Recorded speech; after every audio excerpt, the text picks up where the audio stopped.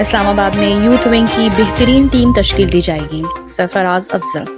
सदर Muslim League Noon, youth wing Punjab, organiser Muslim League Noon, youth wing federal capital Islamabad. Chaudhry Sarfaraz Afzal ने कहा है कि मुस्लिम league नून ने हमेशा नौजवानों के मसाइल के हल के लिए इकदाम किए और हमेशा दीगर शोबों के साथ साथ सियासत के मैदान में भी यूथ को प्रमोट किया। यही वजह है कि आज पंजाब के हर डिवीज़न, जिला तहसील और यूनियन कौंसिल लेवल पर Muslim League Noon youth wing में पढ़े लिखे नौजवान जोग दरजोश शामिल हो रहे हैं। क्योंकि इनको मालूम है कि मुस्लिम लीग नून ही वो वाहिद जमात है, जो नौजवानों के मसाइल ख़त्म करने के लिए आला तालीम के लिए इकदाम करती रही।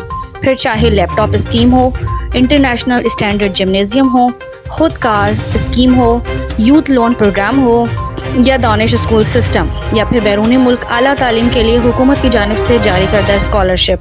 स्कीम हो। इस तरह के प्रोग्राम्स मुस्लिम लीग नून की सूबाई और वफाकी हुकूमत ने ही शुरू किए। इन पंजाब की तरह वफाकी दारकूमत इस्लामाबाद में भी एक पढ़ी लिखी और मज़बूत यूथ विंग की टीम सबक वफाकी वज़ीर डॉक्टर तारिक अफजल चौधरी, सबक M N A Anjum Aqeel Khan और राजा वकार मुमताज़ की मुशावरत से सामने लेकर आ रहे हैं, जो इस्लामाबाद की गली गली में पार्टी क्यादत का पैगाम पहुँचाएगी।